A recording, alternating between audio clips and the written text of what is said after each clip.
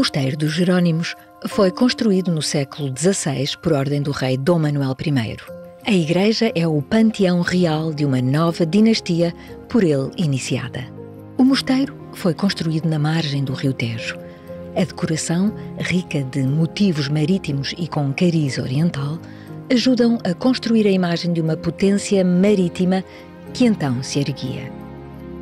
Em 1988, o World Monuments Fund Portugal promoveu um levantamento técnico sobre o estado de conservação do claustro para preparar uma intervenção de conservação geral e aprofundada. A intervenção desenrolou-se entre o ano de 2000 e 2002 e foi desenvolvida por etapas de seis meses por cada um dos quatro setores do claustro, mantendo três setores acessíveis aos visitantes em permanência. Embora não fosse o aspecto mais crítico, a sujidade tinha um impacto enorme, impedindo a correta leitura da magnífica decoração das superfícies pétreas. A intensa colonização biológica foi eliminada com métodos próprios e toda a sujidade das superfícies foi removida ou atenuada. O método mais usado foi a água nebulizada, que pontualmente foi complementada com outras técnicas ajustadas a cada caso. A intervenção foi uma tarefa exigente, gerida e controlada por equipas profissionais e acompanhamento permanente de uma comissão científica multidisciplinar.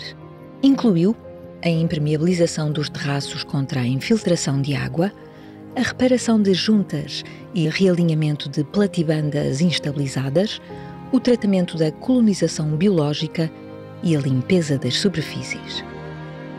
Pelo estado de deterioração mais avançado, a arcaria da galeria inferior levantava grandes dificuldades de limpeza, pois havia o risco sério de causar perdas irremediáveis da respectiva decoração.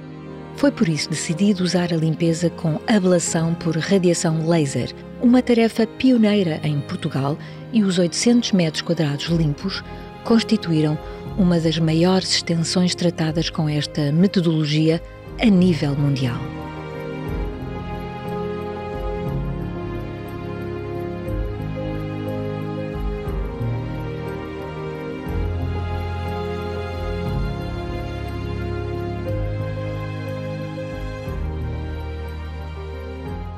Uma limpeza feita com métodos suaves deixou expostas as pátinas mais diversas, o que transmitia uma imagem incoerente e tornava a superfície de difícil leitura.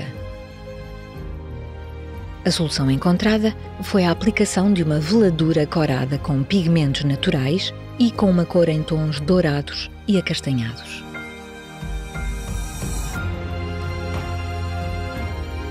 A cor baseou-se na descoberta de superfícies muito antigas soterradas numa das alas do claustro.